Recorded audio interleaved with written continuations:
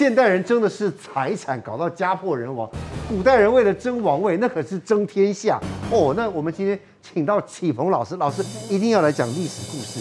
这个古代皇室，哎，那争到真的是，那才真是血流成河嘞。是对。魏晋南北朝有个刘宋王朝，从开国君主以下，几乎都骨肉相残，跟手足相残。有对，那这是怎么回事呢？话说啊，这个刘那个刘宋的开国君主叫做刘裕，那刘裕呢登基即位之后，做了一个。分封类似分封的制度，他把自己的兄弟及儿子都派到地方上去镇守。嗯，那这就让这些藩王有机会拥兵自重。嗯，所以等他等他过世之后，他的儿子刘义隆登基即位，就害怕这些藩王造反啊，就想说该怎么办呢？这样子好了，把我的长子太子调回来京师镇守好了，这样他就可以成为我的后盾嘛。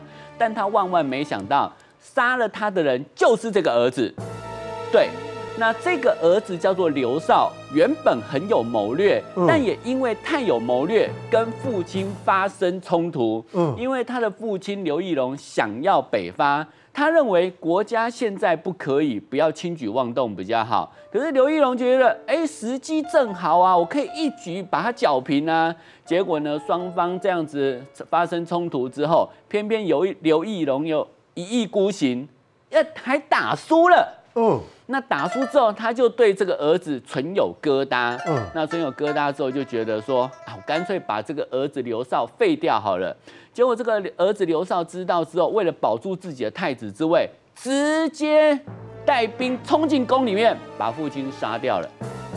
杀父亲哦，对，杀自己的亲生父亲哦，所以你看争夺王位到这种地步，然后呢，他就随即登基即位。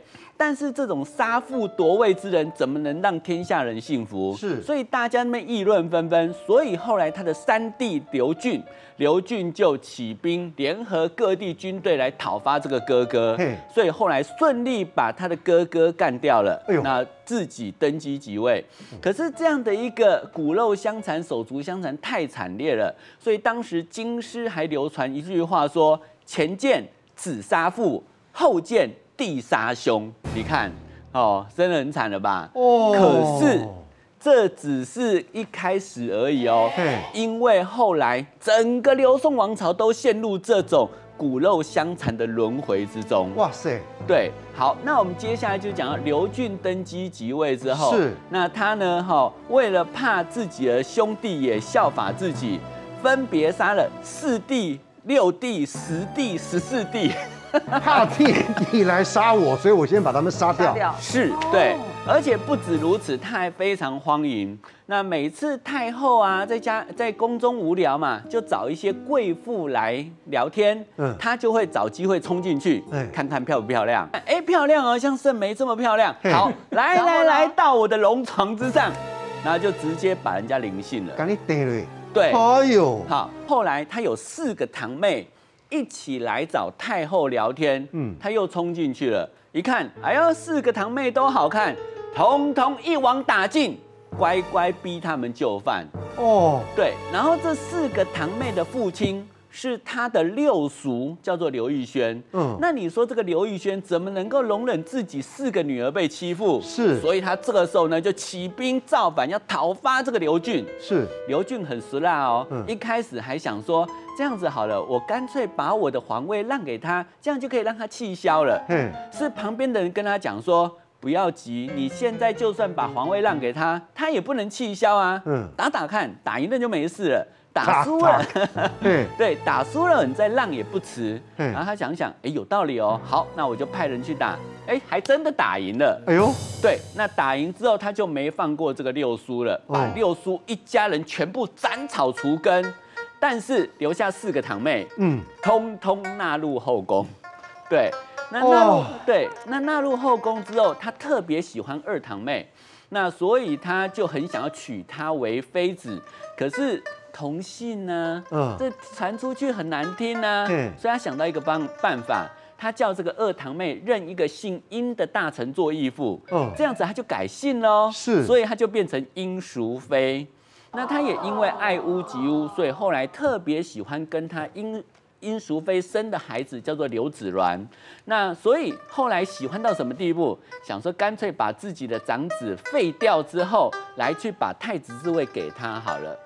所以这就让原本的太子刘子业非常不爽哦。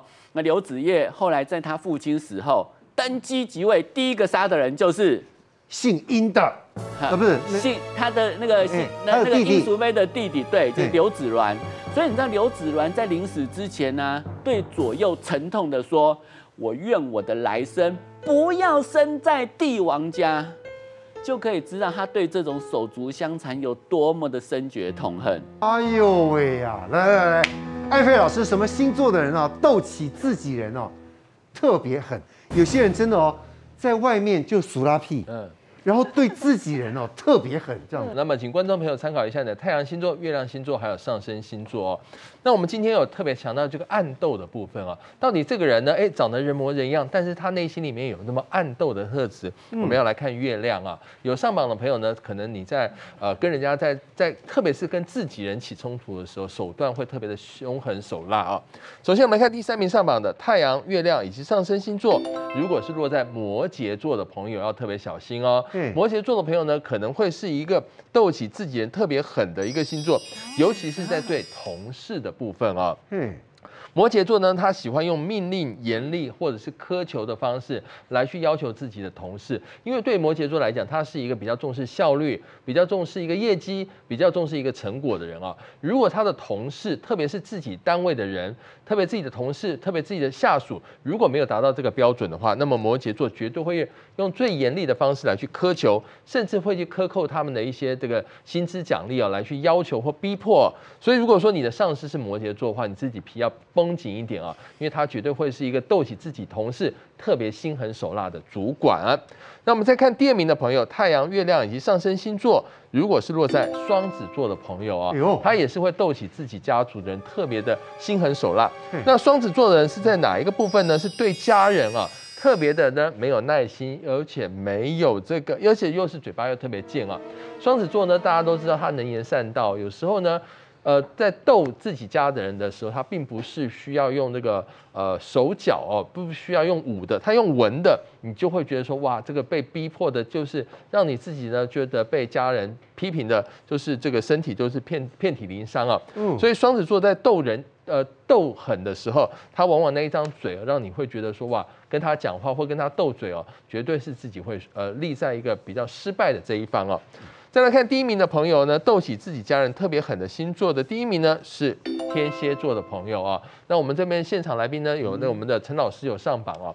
陈老师呢可能熟读历史故事哦，所以特别知道如何去斗自己的家族啊、朋友啊，他都有些。历史的范本了哈，那天蝎座的个性来讲啊，它是属于对情人呢，它是属于记恨而且爱翻旧账的特质。如果说你的家里面的另外一半或者是你的伴侣，如果是曾经交往过天蝎座的话，你就会发现哦，他们在有时候在跟你在翻旧账，或者在跟你呃记恨记仇的这件事情上面，你往往会觉得说哇，他们真的是不要跟他们斗嘴，不要跟他们吵架，免得呢他们又要把这个过去的一些。呃，发生过的一些各种这些细微的事情啊，金钱啦、感情啦，或者是一些这种旧事啊，又要重提啊。那有上榜的朋友，摩羯座、双子座以及天蝎座都是斗起自己家人啊，都特别狠的星座，给大家做参考。年轻人，你在迷惘吗？听我一句话，少奋斗三十年。让老师帮你指点迷津，从躺平族变成人生胜利组，跟着星象趋吉避凶。让我为你面对面算命。年轻的朋友，想让命运好好玩的大师帮你算命吗？详情请上点书官方粉丝团。